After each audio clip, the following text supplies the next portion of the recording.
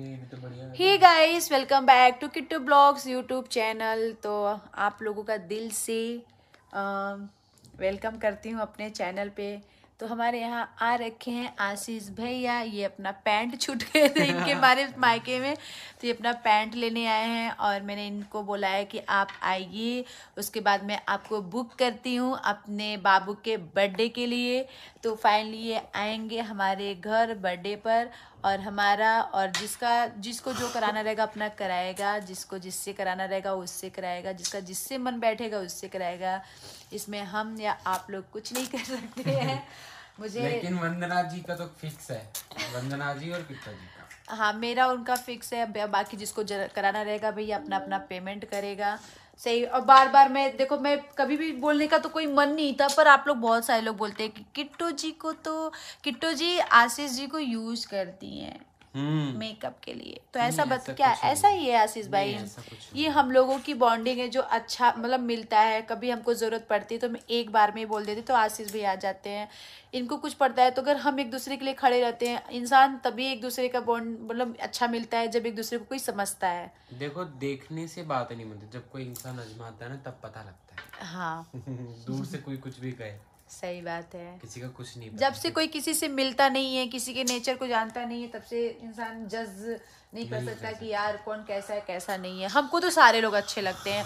अगर आप किसी के अंदर कमी ढूंढोगे तो आपको कमी ही दिखेगी। अगर आप उसको अच्छी नज़र से देखोगे तो आपको अच्छा ही दिखेगा।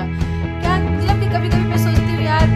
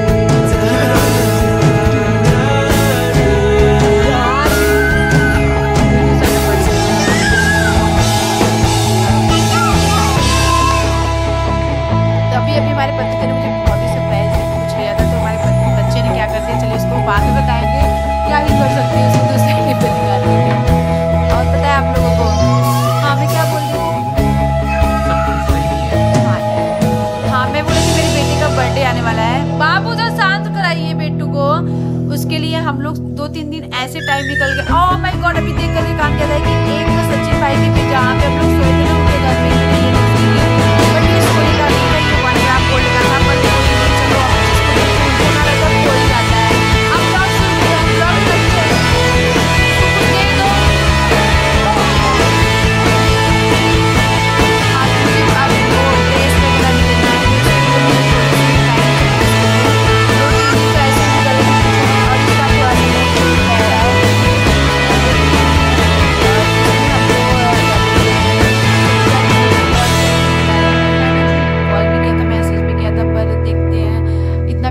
जब बुलाएगा तो किसी घर तो जाना ही चाहिए।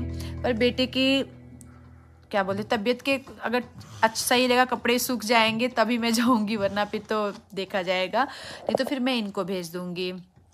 क्योंकि इसका बर्थडे भी ज़्यादा दिन नहीं रह गया। अगर हम इधर, उधर इधर, उधर इसको लेकर टहलेंगे तो फिर, क्या होगा? बताइए आप लोग। चलिए, इसके बाद, वैसे समय आने दीजिए। अभी तो कितना दिन अभी उनके यहाँ पंद्रह तारीख को जाना है ना? है एक वो भी है यूट्यूबर सरिता दी है तो उनका गोद भराई है अच्छा। पंद्रह तारीख को। और सोलह को उनके बेटे का बर्थडे है। तो हमारी तरफ़ से तो बहुत बहुत उनको बधाई हो आने वाली बेबी के लिए।